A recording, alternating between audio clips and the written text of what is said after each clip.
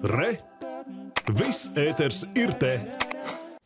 Lina Kleitu un Vilna smēteļvietā tagad viņas šuj koši rozā, melnas un pat lielvārdus jostas rakstījumi rotātas sejas maskas. Tā uzņēmums Maira norēģējis uz lielo pieprasījumu un mazo masku piedāvājumu, kas pat labi ir Latvijā. Vairāk stāstāja Kīnce.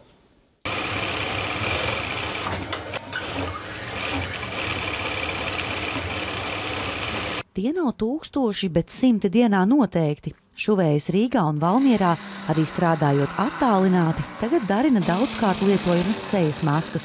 Tās var droši mazgāt, gludināt un lietot atkal. Ieteikums ir masku mazgāt katru dienu. Šajā situācijā nu, varbūt izdarīt kaut ko tādu, kas varētu būt uh, vajadzīgs un noderīgs.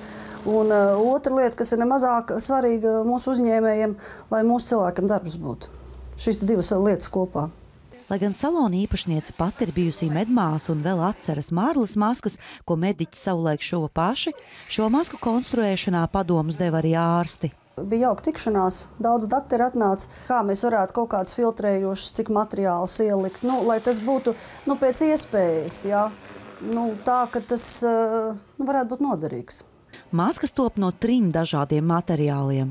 Viens ir mūsu mīļākais līnijas, ar ko mēs ikdienā strādājam, jo jāskatās jau arī kāda auduma rezerves mums ir. Ja.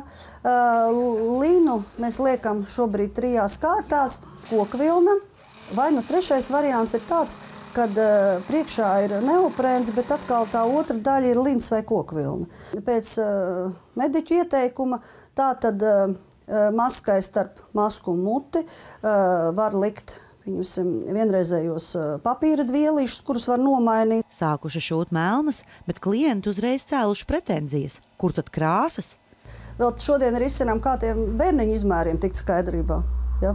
Un, un māmas jautā, nu, vai būs kaut kas priecīgāks bērniņiem. Arī, ja? nu, ir kaut kāds puķainus, mēs ātri atradām aizsardzības zīmes. Jā, ziniet, kā man mm, bija jauka tā sarunas notiek Facebookā, jo kungs jautā, nu, kur, kur palika zīmes. Un daži atbild, saka, nu, tagad lēnā garā paši piezīmēsim mājās esot. Ja? Nu, tā kā nu, humors tomēr nebeidzās, ja? un nu, mēs jau visi kā te esam tagad veseli veseli, priecīgi un nu, cerams, ka nevajadzēs daudz maskas. Aikīns Mārs Jurgensons, Latvijas televīzija.